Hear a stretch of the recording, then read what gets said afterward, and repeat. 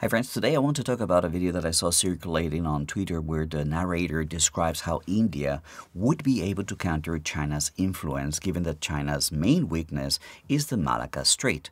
It is reported by the narrator of that video that 70% of Chinese oil imports flow through this narrow passage between Malaysia and Indonesia, and that India owns the Andaman and Nicobar Islands, which are located at the west entrance to the strait. These 836 islands are grouped into two the northern Andaman Islands and the southern Nicobar Islands, which are separated by a 150 kilometer channel. Now, for a long time, experts have claimed that the strait can easily be controlled by the Indian Navy and thus prevent China from getting the oil that it needs to run. As a person who reads about geopolitics, I was aware of the importance of the Malacca Strait, but I must admit that I was not aware of some of the details that today I would like to share with you. Spoiler alert. These facts might mitigate the concerns raised about the threat that the video is trying to instill in their viewers. So welcome to another video friends. Before we go on, please make sure that you are still subscribed to this channel. I know that this website is doing some funky things to some of you and you have been unsubscribed without you knowing. It means a lot to me, so thank you. But let's get down to the topic. The first thing to say is that I believe that Beijing is fully aware of its supply chain vulnerability and has contingency plans in place to counter any potential blockade by India. The other thing to say is that India is unlikely to undertake such an action without the unwavering support of the United States, both militarily and politically. And this, after we have seen Modi hugging Vladimir Putin, casts doubt on the certainty of this support. But I know you've all come here to access factual information, so let's start working on that. According to the Institute for Supply Management, or ISM, in 2023, about 80% of China's oil imports pass through the Malacca Strait, uh, representing about 60% of China's entire oil supply. However, that very same year, ISM reports that Russia has surpassed Saudi Arabia to become China's largest oil supplier, since China took advantage of Moscow's search for new buyers amid Western sanctions after they had started the Ukraine special military operation back in 2022. In 2023, Russia sent 7 million metric tons of crude oil, which represent a 24% increase from the year before, while Saudi Arabia shipped 85 million metric tons, a decrease of 2% from 2022. There are two primary considerations when we examine the transportation of Russian oil to China. The first pertains to the route. Russian oil reaches China primarily via the ESPO pipeline, which is also known as the East Siberian Pacific Ocean Pipeline. This 4,857 kilometer pipeline originates in Taizhet, I apologize for the pronunciation, in eastern Siberia and terminates at the Pacific Ocean Terminal in Kozmino. Again, apologies for the pronunciation if I get it wrong. The ESPO supplies oil to Japan, South Korea, and China. But since the commencement of the special military operation, both Japan and South Korea have curtailed their trade with Russia, while the mainland has significantly increased its consumption. This disparity is partly attributable to China's substantial oil storage capacity. Unlike Russia, which lacks significant storage facilities, China possesses 12 strategic petroleum reserves, or SPRs, and is in the process of constructing five more. Currently, there are two pipelines connecting to the ESPO in the north of China, and they transport crude oil to state-owned refineries such as CNPC in Heilongjiang and to private refineries in Shandong province. Additionally, Russian exports crude oil to China through Kazakhstan via the Atasu Alashankou pipeline. Again, apologies for the pronunciation. Now, the second factor to consider is the existing supply contract between China and Russia. This agreement, which was finalized after 15 years of negotiation back in September 2012, has prompted some experts to suggest that it may limit the volume of oil that Russia can supply to China. However, the video that is circulating on Twitter portrays India in a belligerent light, the implication being that India would resort to a blockade of the Malacca Strait as an act of hostility.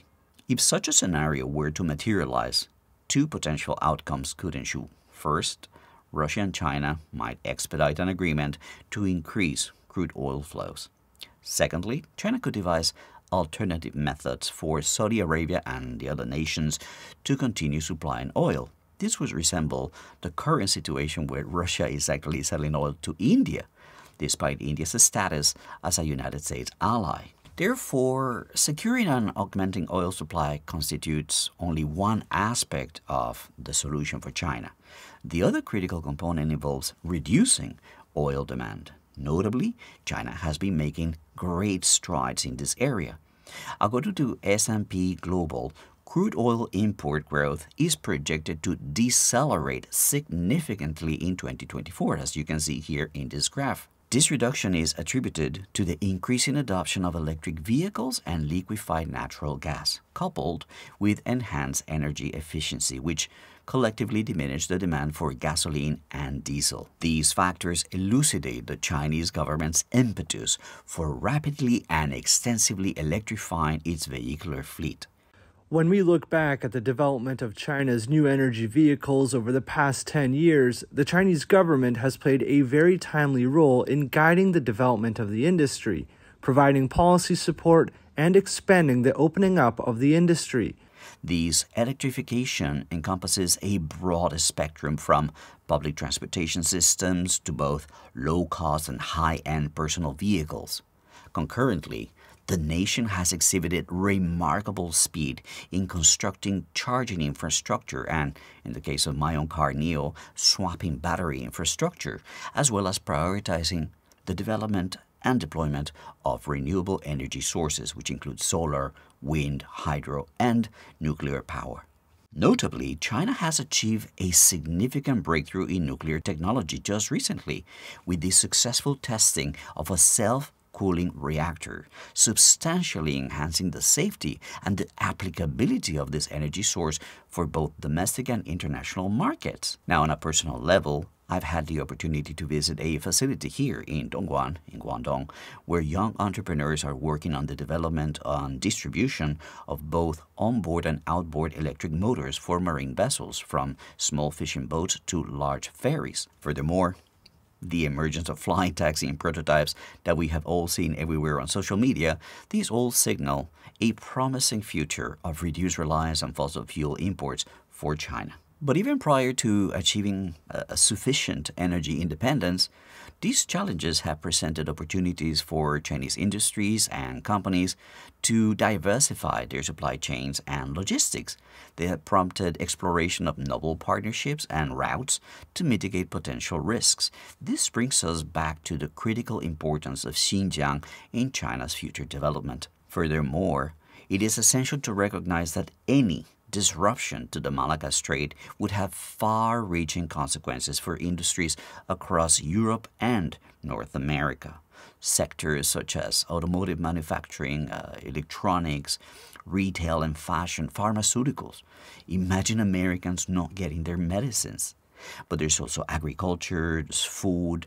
These would all be adversely affected by such an event. Now, while Western economies may exhibit a lesser degree of dependence on the Malacca Strait for energy compared to East Asian nations, the interconnectedness of the global oil market is undeniable. Any disruption to a major supply route would inevitably lead to fluctuations in global oil prices, which would impact factors ranging from fuel cost to household energy bills. In conclusion, this video refutes these unfounded claims propagated by the aforementioned video. China's position as the world's manufacturing epicenter constitute its primary defense against such threats. Moreover, in the hypothetical scenario of India pursuing a hostile course of action, China's substantial naval superiority, with a fleet which is a size more than triple that of India's, would serve as enough of a deterrent. All right, friends, that's all the time we have for today. Thank you so much for watching this video. And as always, if you liked it, give it a thumbs up. And if you like the work that I do, make sure to hit the subscribe button. And until I see you again, take it easy and bye for now.